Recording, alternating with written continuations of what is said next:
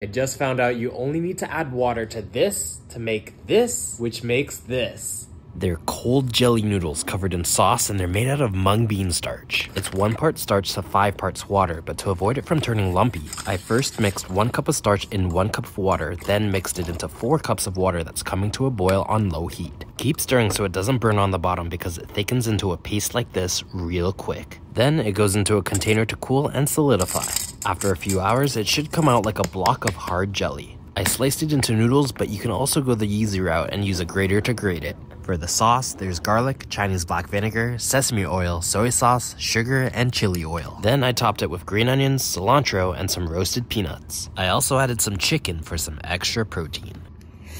I just threw some chicken in there and it's even better.